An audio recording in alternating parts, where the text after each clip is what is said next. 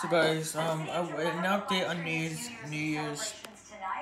We probably got 30 minutes, uh, no, 24 minutes and 38 seconds. New Year's Eve.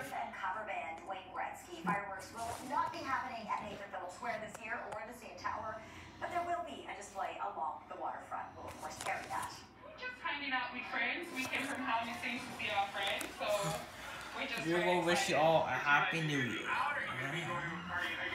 We'll see you guys in January. Actually, be at home, um, trying to, you know, save So yeah, uh, wish you all a happy New Year. I'm see you guys in New Year's. So I hope you enjoyed this video. This is just a short video. I'm showing you guys a time. I'm uh, go see you guys when it hits one minute. So I hope you enjoy.